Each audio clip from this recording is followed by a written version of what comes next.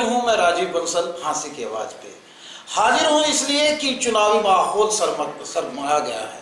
گرماہٹ بالکل چاروں طرف نظر آ رہی ہے۔ ودھان سبھا کا چناؤ، جیسا کہ آپ کو معلوم ہے کہ اکیس اکتوبر کو ہونا ہے۔ آج کا دن ستائیس ستمبر۔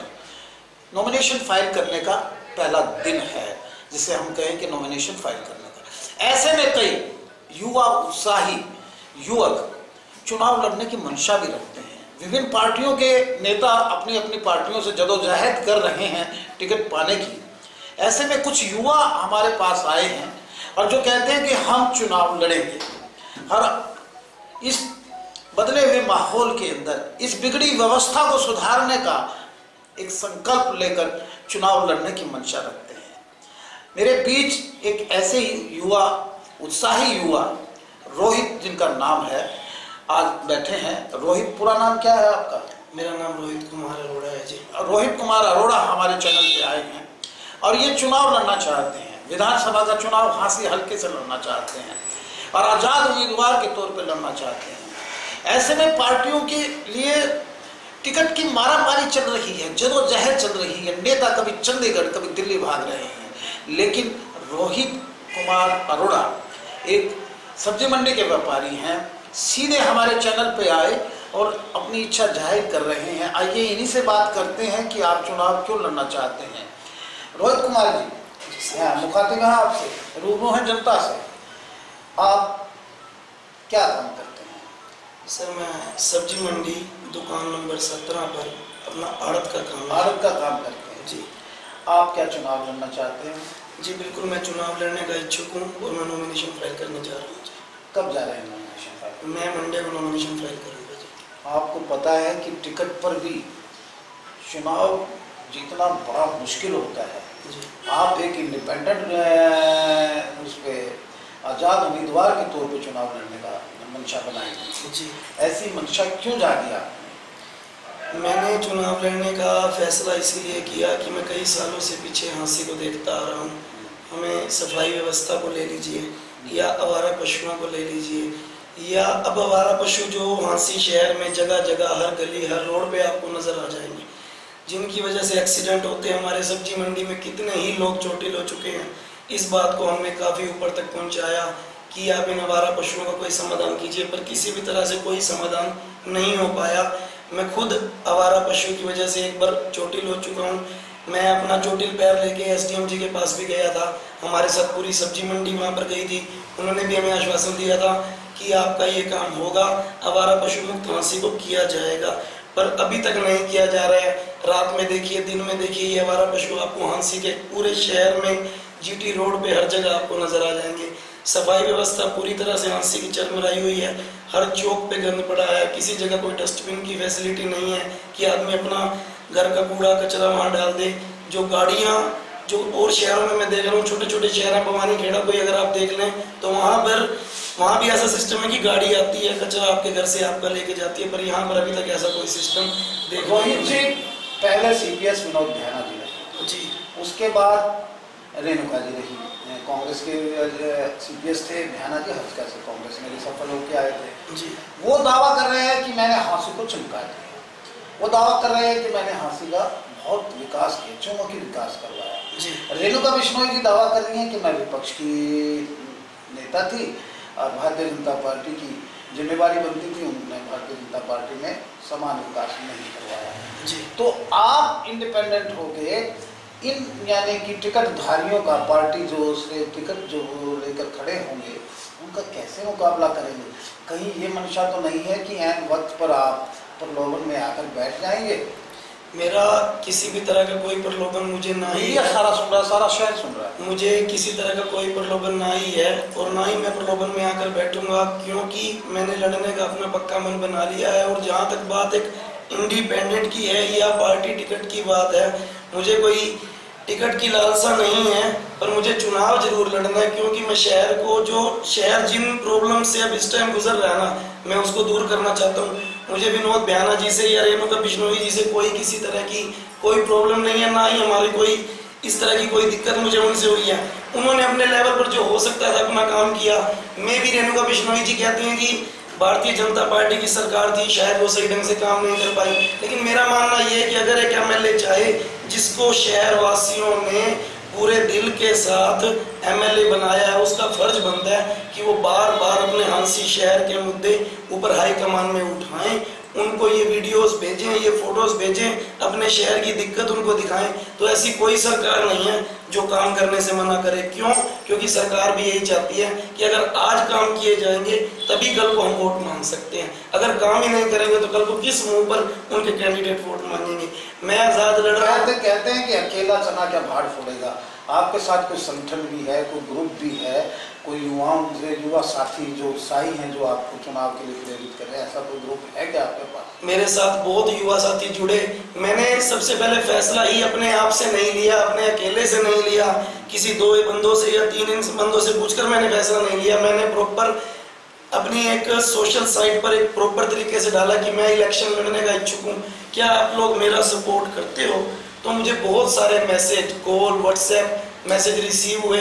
سب نے یہی بولا کہ اگر آپ چناؤ لڑتے ہو تو ہم آپ کو سپورٹ کریں گے کیونکہ آپ ایک یوا چہرہ ہو اور یوا ہی دیش کو بدل سکتا ہے۔ اگر یوا پیڑھی چاہے تو کچھ بھی کر سکتی ہے اور میں جنتا کی طاقت کو ہی سب سے بڑی طاقت مانتا ہوں۔ میں یہ نہیں مانتا کہ جس کے پاس ٹکٹ ہے وہی جیتے گا۔ آپ بولتے بہت اچھے ہیں اوریٹر اچھے ہیں۔ جنتا چاہے گی تو اسے جیتا میں آپ کو پانچ یعنی کہ پارٹیوں کے نام گناتا ہوں سب سے اچھی کون سی لگتی ہے بھارتیہ جنتا پارٹی۔ کیسی لگتی ہے آپ بہت ہایا نام ہے اچھی لگتی ہے؟ بالکل اچھی لگتی ہے۔ کانگریس؟ اچھی لگتی ہے۔ B S P? پارٹیاں سر میں آپ کو بات بتاتا ہوں سر سنیے میں بتاتا ہوں آپ کو پارٹی کبھی بھی کوئی غلط نہیں ہوتی۔ جو پارٹی بنی جنہوں نے اس لیول پہ جو آج تک پہنچے ان میں کچھ تو اچھی بات ہوگی کہ ہم ان کے نام جانتے ہیں۔ آئی این ایل ڈی کو ہم جانتے ہیں جے جے پی کو ہم جانتے ہیں بی جے پی کو ہم جانتے ہیں اور ہم اس کو اپنا کانگریس کو ہم جانتے ہیں یہ کئی سالوں سے راج کر رہی ہیں۔ ان کا بہت اچھا سسٹم ہے بہت اچھے لیول پہ انہوں نے کچھ نہ کچھ ایسا کیا ہوگا۔ میں کسی بھی پارٹی کو غلط نہیں مانتا لیکن میں کسی پارٹی سے جڑا ہوا نہیں ہوں اس لیے میں کسی پارٹی سے ٹکٹ کی مانگ رکھ نہیں سکتا۔ مجھ سے اوپر بہت بڑے بڑے دگج بیٹھے ہیں میں ان کے سامنے کچھ بھی نہیں ہوں۔ لیکن صرف ایک یوا ہوں ایک یوا سوچ میرے اندر ہے اور جنتا میرے ساتھ ہے۔ مجھے جنتا سے ہی پیار اور جنتا اگر اچھا، کہتی ہے کہ ہانسی کی بدحالی کا ذمہ وار۔ کون پچھلے اتر سینی بھی رہے پورو منتری۔ سی پی ایس ونود بہانا رہے سبھاس گوئل رہے نگر نکائے منتری۔ اور اب اپنے رینوکا بشنوئی جی رہے اور بھارتیہ جنتا پارٹی کا شاشن رہا، جو ہریانہ ایک ہریانی ایک کی بات کرتے ہیں، سمانچل بھی پکش کا جہاں ودھایک ہوں وہاں بھی سامان متاثر کرتے ہیں۔ ہریانہ ہانسی کی بدحالی سے آپ بڑے پرکار سے واقف ہیں۔ ہانسی کی بدحالی سے میں اس کا ذمہ وار کون ہے جو بھی سرکار جس نے بھی یہاں پر ہانسی میں راج کیا ہے، جیسے پانچ سالوں سے ابھی پیچھے رہنو کا بشنوئی جی یہاں پر ایم ایل اے رہے، اس سے پہلے بھی نوت بیانہ جی رہے۔ میں یہ مانتا ہوں کہ ہانسی شہر کی اندیکھی کی گئی ہے۔ ہر چیز میں ہانسی شہر کی اندیکھی کی گئی ہے۔ پیچھے ہمارے رام نواس فوجی جی نے بہت انشن کیا، انہوں نے بہت جوڑ لگایا، جنتا بھی ان کے ساتھ تھی کہ ہانسی کو ضلع بنایا جائے، لیکن اس کی بھی اندیکھی کی گئی۔ آپ اس بات سے اتفاق رکھتے ہیں کہ ودھائک بننے کے بعد اس کی منشا بدل جاتی ہے اس کی فطرت بدل جاتی ہے وہ اپنا گھر بننے کی بات کرتے ہیں جنتا کے لیے۔ اس بات سے کرتے ہیں۔ ہر انسان ایک جیسا نہیں ہوتا اور نہ ہی ہم کسی انسان کو اس طرح سے جج کر سکتے ہیں کہ اس کی منشا کل کو کیا ہوگی۔ وہ اس کے بننے کے بعد ہی ڈیپینڈ کرتا ہے۔ ہاں ہو سکتا ہے کہ اس کو پاور ملنے کے بعد وہ ہانسی کے بارے میں نہ سوچے صرف اپنے بارے میں کتنے سال ووٹ ڈالتے ہوگے؟ میرے کو بارہ سال ووٹ ڈالتے ہو گئے جی میں نے دیکھ لیے منتری دیکھ لیا آپ نے۔ میں نے اپنے ہانسی شہر میں میں وہ چھوٹا سا تھا، میں نے امیر چند، مجھے یہ بھی پتا تھا کہ امیر چند مکڑ جی ہمارے ایم ایل اے ہیں، سبھاش گوئل جی بھی ہمارے ایم ایل اے رہے ہیں، میں ان کو بھی جانتا ہوں اور ان کو میں نے دیکھا ہے۔ ونود بیانا جی میرے بہت قریبی رہے ہیں۔ اپنا یہ جو ہے رینو کا بشنوئی جی ان کو بھی میں جانتا ہوں۔ اور سب سے بڑی بات، میں ہانسی میں موسٹلی جتنے بھی راجنیتی میں ہیں رجیش چکرال جی ہیں، سمن شرما جی ہیں، ان کے جتنے مطلب بچے ہیں، ان سے بھی میرے بہت اچھے لنک ہیں۔ بہت اچھے تعلقات میں ایک بات بتائے کہ بننے سے پہلے آدمی کی سمپتی کچھ اور ہوتی ہے۔ جی۔ بننے کے بعد اپار دھن سمپتی آ جاتی ہے۔ یہ کہاں سے آتی ہے؟ یہ اپار دھن سمپتی ان کے پاس کہاں سے آتی ہے یا وہ کیا کرتے ہیں؟ میں اس بارے میں کچھ نہیں جانتا۔ میرے پاس نہ میرے نام کسی طرح کی کوئی پروپرٹی ہے نہ ہی میرے پاس کوئی بہت بڑا بینک بیلنس ہے نہ ہی میں پیسوں کی راجنیتی کرنا چاہتا ہوں۔ میں یہ وچن دیتا ہوں اگر میں ایم ایل اے بن جاتا ہوں تو ہانسی کے اندر صفائی ویوستھا پوری طرح سے لاگو کی جائے گی۔ صفائی، بالکل صفائی کا دھیان رکھا جائے گا۔ آوارہ پشو مکت کیا جائے گا۔ بھرشٹاچار مکت آنسی کو کیا جائے گا۔ پروپر ایک آفیس بنایا جائے گا۔ ہم یہ دیکھتے ہیں کہ ایم ایل اے جب نہیں بنتا، تب اس کے جنتا کے ساتھ لنک کچھ اور ہوتے ہیں۔ ملنا جلنا کچھ اور ہوتا ہے۔ ایم ایل اے بننے کے بعد ایک عام آدمی ایم ایل اے سے بات نہیں کر سکتا۔ کوٹھی کے چکر لگاتا رہتا ہے۔ لیکن میں نے جو نمبر، آج جو میرا نمبر، موبائل نمبر جو میرے پرچوں پر لگا ہے یا جو نمبر میں آپ کو بتا رہا ہوں اس چینل کے مادم سے میرا نمبر ہے nine eight nine six two nine eight nine six two یہ ہمیشہ صدیو اون رہے گا۔